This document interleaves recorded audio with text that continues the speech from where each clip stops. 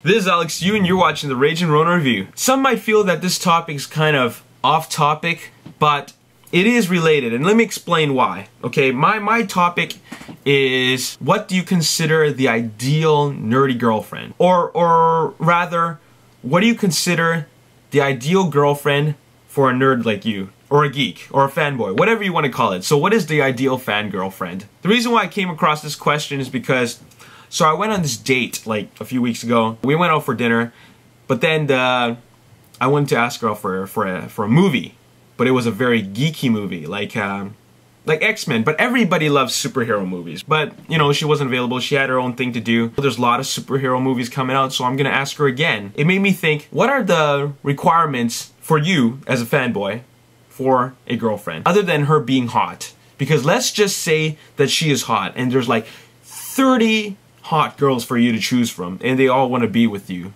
But what are those characteristics that she needs to be that fits with your geeky personality? Let me tell you mine. Obviously, I'm a movie buff. She has to love movies.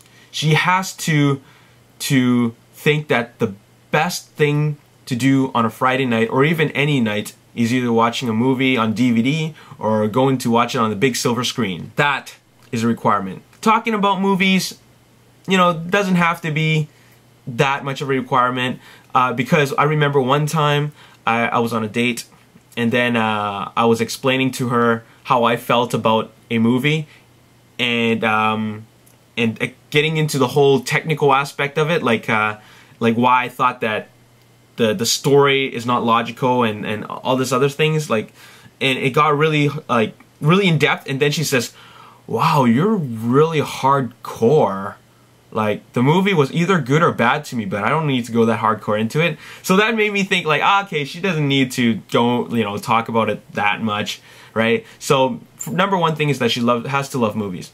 Another thing is that she cannot complain about my collections.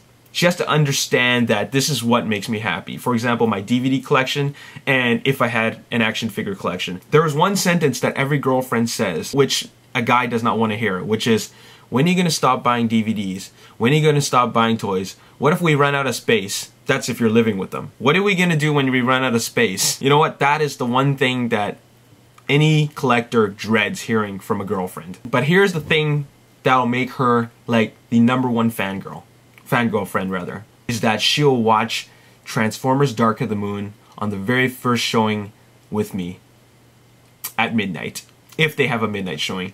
If she's dedicated enough to do that with me, oh man, that will mean the world. So I've told you what my requirements are for the ideal fangirl friend. So what are your requirements? Let's say she's a total knockout, 9 out of 10, 10 out of 10 even. As a fanboy, what kind of uh, characteristics do you need from her? L let's not nitpick about like like things that we normally nitpick about. For example, oh, she's like, she's a picky eater or she picks her nose or she has 20 pairs of shoes, like things like that. Or she's a slob in bed. You know, let's not talk about that. Let, let, let's look at it from a, from a nerd's point of view. Let me know in the comments section below. I think it's actually a very interesting topic. This is Alex Yu, and thanks for watching the Ragin Ronin review. Peace. To my question for Transformers 1 was that he was actually flicked by Megatron after he goes disgusting.